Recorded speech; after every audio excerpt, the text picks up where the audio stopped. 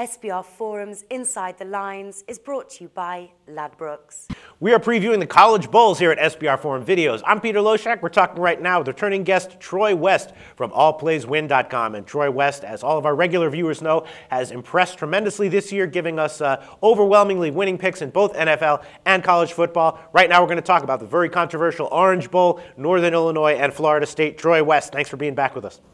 Thanks a lot. This is an interesting bowl yes. to me, and I, you know, I think a lot of people are sitting there. I think the public's going to be all over Florida State. I'm with the public on this one, Pete. Really? You like you like Florida State, huh? I like Florida State in this one. This one kind of flashes me back to the 2008 Sugar Bowl when Hawaii came in against against Georgia, and Georgia won that game 41 to 10. I think it draws a lot of similarities. I think Northern Illinois kind of had their cake all year long, had their opportunities to play a lot of bad football teams. I went through, reviewed it. They lost to an Iowa team week one, was really the only respectable opponent they played. They played Kent State to a touchdown the last game of the year. I know a lot of people are really high on their quarterback.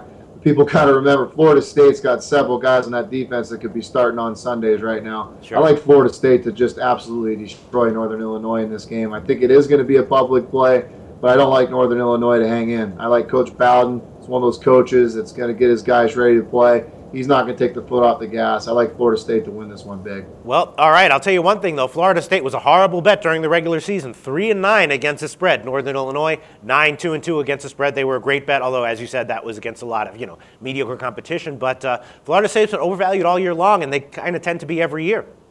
They have been at times, and they had a few slip ups. But you got to remember they lost a, a one point game against NC State. It was the one kind of slip up they had up all year, and then they lost the tough one to Florida. It's a team that should have been playing in in a, in a much better bowl, even had an opportunity to possibly be playing for a national title. Yes, it was on them that they blew that, but but Bowden, I think, is one of those coaches that's pissed off. He's got an opportunity to get this team a BCS bowl win. I think he gets it. I think they win this game along the lines of a 42-20 type game.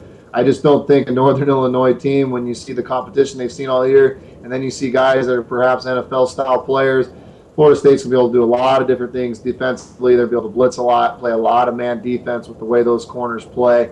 Illinois hasn't been able to see that. They've been seeing a lot of zone coverage all year. I think their quarterback in this game is going to see himself something he hasn't seen all year, and that's a much faster team, a much more physical team.